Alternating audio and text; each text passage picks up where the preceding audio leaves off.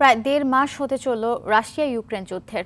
যুদ্ধে দুপক্ষেই ব্যাপক ক্ষয়ক্ষতির সম্মুখীন হয়েছে। তবুও থেমে নেই যুদ্ধ।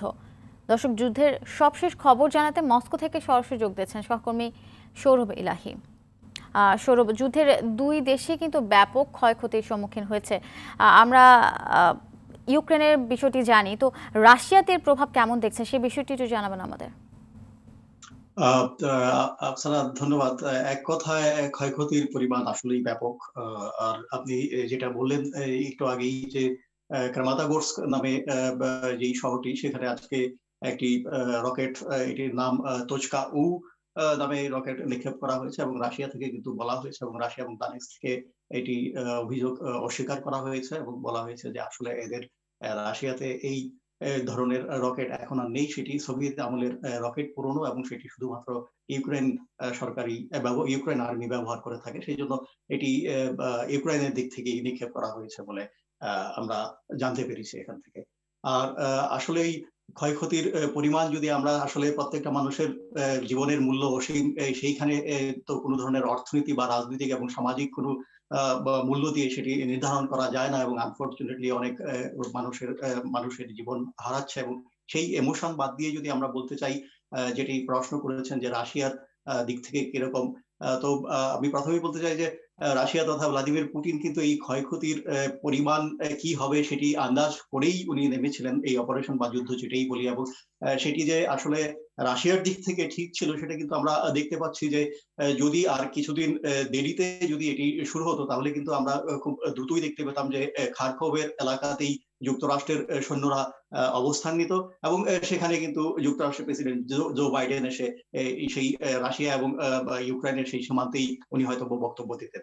তো সেই ক্ষেত্রে দিক থেকে রাশিয়া আসলে ঠিক ছিল এবং যদি অর্থনৈতিক ক্ষয়ক্ষতির কথা বলা যায় যে সারা পৃথিবী, বিশেষ করে নেটো এবং পশ্চিমা দেশ এবং যুক্তরাষ্ট্র কিন্তু রাশিয়ার বিরুদ্ধে এক ধরনের যুদ্ধ ঘোষণা করেছে। এবং শুধুমাত্র রাশিয়া শুধুমাত্র সমর যুদ্ধই নয়, অর্থনৈতিক যুদ্ধতে তারা যুদ্ধ করে যাচ্ছে।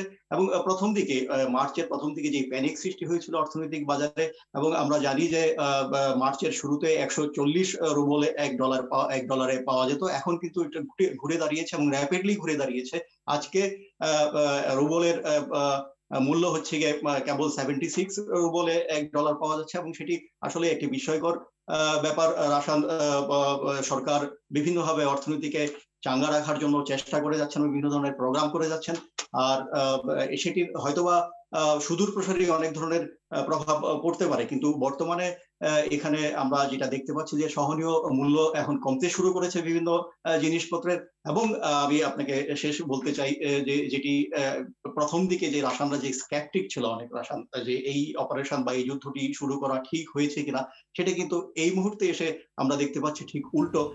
বিশেষ করে রাশানদেরকে যতই অর্থনৈতিকভাবে এবং বিভিন্নভাবে যে চাপ প্রয়োগ করা হচ্ছে সারা পৃথিবী থেকে, সেটিতে রাশানরা এখন ইউনাইটেড হচ্ছে এবং সেদিক থেকে সাধারণ জনগণের কাছ থেকে ক্রেমলিন এক ধরনের চাপ অনুভব করছে এবং তারা বলতে চাচ্ছে যে যে অপারেশন শুরু করা হয়েছে সেটি যাতে শেষ করেই চলে আসা হয়। এবং আমি আরেকটু শেষ করতে চাই যে যদি দর্শক বা আপনারা যদি খেয়াল করেন, লক্ষ্য করেন রাশিয়ার যেই সামগ্রিক যেই ম্যাপটি রয়েছে, তাহলে আপনারা দেখতে পাবেন যে ইউক্রেনকে ইউক্রেনের যে ম্যাপটি সরি তাহলে দেখতে পাবেন যে রাশিয়ান আর্মি ধীরে ধীরে পূর্ব মানে অঞ্চলকে, উত্তর থেকে দক্ষিণ দিকে তারা বিচ্ছিন্ন করে ফেলছে এবং